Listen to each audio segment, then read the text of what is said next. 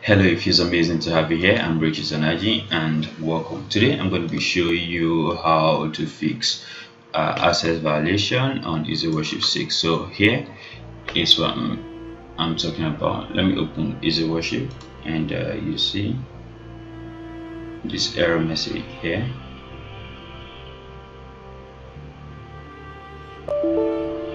So uh, invalid arguments uh, to date and code. When press ok you see access violation at address 05011 is this in module is it worship as it and read of address? So i'm going to show you how to fix this. So to do this it's pretty easy. So what you do is that uh, you close down you close your easy worship so let's close it so if it's failing to close, press Ctrl Alternative Delete right.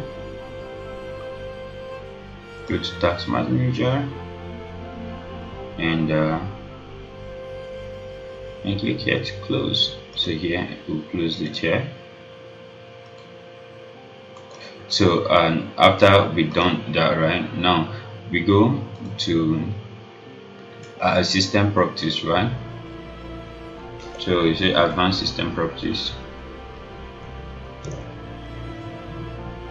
so advanced system settings right? So we go there. Then you click on what? Settings. So under settings click on data prevention. So you click normally to be here come here click on turn on DEP for all program and services except those I select. So here what we're going to do we're going to add easy worship here. So go to easy worship. You go to the folder that is selected here. So um so you just have to locate uh, the folder here. So here drive C. Um, so system here let's look for the easy worship here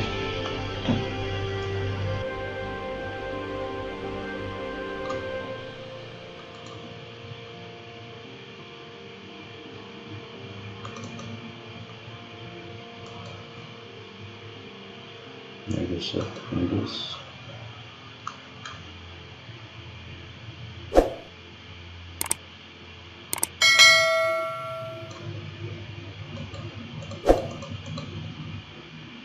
Windows and start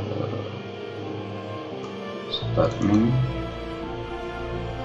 programs easy worship 6 so yeah so here we are right? So Easy Worship 6 we click on it then click on open then click on apply then okay so guys so it's as easy as that. Then when you're done you click on ok right? Then let's go and open our easy worship now. You see? You see that the problem is solved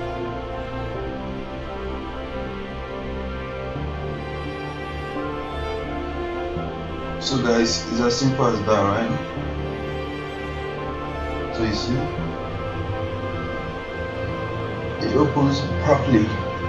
So um go to scripture and uh, here. Project so guys that's how to solve the problem.